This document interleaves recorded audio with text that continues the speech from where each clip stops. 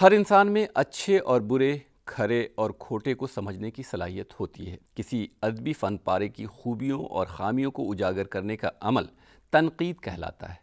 تنقید کے لغوی معنی پرکھنے یا کھرے کھوٹے کی پہچان کرنے کے ہیں۔ اصطلاح میں خوبیوں اور خامیوں کا صحیح اندازہ لگانا اور ان پر کوئی رائے قائم کرنا تنقید ہے۔ تنقید کے دو مراحل ہیں۔ پہلے مرحلے میں تنقید کا عمل تخلیق کے ساتھ ہی شروع ہو جاتا ہے۔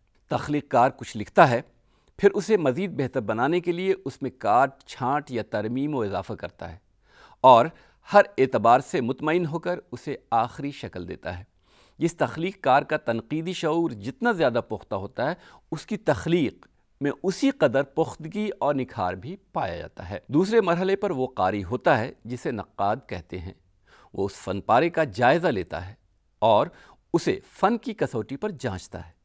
نقاد کسی فن پارے کا مطالعہ کرتے ہوئے اس کی تخلیق کے محرکات، مصنف کے مزاج، موضوع کے تئیں اس کے رویے اور فن پارے کی فنی خوبیوں اور خامیوں کو جاننے کی کوشش کرتا ہے۔ عام قاری کتاب کا مطالعہ سرسری انداز میں کرتا ہے۔ اس کا مقصد عموماً وقت گزاری لطف اندوزی یا اپنی معلومات میں اضافہ ہوتا ہے۔ لیکن تنقید نگار جب کوئی تحریر پڑھتا ہے تو ایک ایک لفظ اور فقرے پر غور کرتا ہے۔ اس کے ذہن میں اس کے فنی اصول بھی ہوتے ہیں۔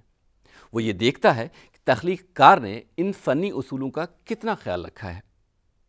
ہر صنف ادب کے کچھ مقررہ اصول ہوتے ہیں۔ انہی اصولوں کی روشنی میں تخلیقات کا جائزہ لیا جاتا ہے۔ تنقید نگار کے لیے ذاتی پسند و ناپسند سے زیادہ اہم وہ ادبی معیار ہوتے ہیں جن کی اہمیت ہمیشہ برقرار رہتی ہے۔ نقاد کے لیے ضروری ہے کہ اس کا مطالعہ وسیع ہو۔ اپنے زبان و ادب کے علاوہ دیگر زبانوں کے ادب پر بھی اس کی نظر ہو۔ مختلف علوم سے واقفیت ہو اور جس موضوع پر وہ لکھ رہا ہے، اس پر اسے عبور حاصل ہو۔ نقاد کے لیے مطالعے کے دوران معروضیت سے کام لینا بھی ضروری ہے۔ شعر و ادب کی تخلیق میں تاریخ، تہذیب، عہد و ماحول، معاشی صورتحال، فنکار کی شخصیت اور کئی دیگر عوامل بالواسطہ اثر انداز ہوتے ہیں۔ فن پارے کا جائزہ لیتے ہوئے تنقید نگار اکثر ان امور کو بھی پیش نظر رکھتے ہیں۔ تنقید نگار یہ دیکھتا ہے کہ فن پارے میں جن تجربات کی عکاسی کی گئی ہے یا جس موضوع پر اظہار خیال کیا گیا ہے، اس کی اہمیت کیا ہے۔ جو کچھ لکھا گیا ہے، اس میں کوئی نئی بات پیش کی گئی ہے یا نہیں۔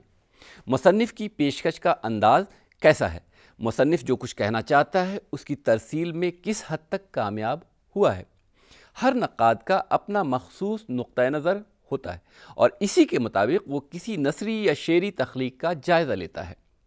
بعض نقاد کسی نہ کسی نظریے کی روشنی میں ادب کی جانچ پرکھ کرتے ہیں، جیسے تاریخی نظریہ تنقید، نفسیاتی نظریہ تنقید، تأثراتی نظریہ تنقید، جمالیاتی نظریہ تنقید اور حیعتی نظریہ تنقید وغیرہ۔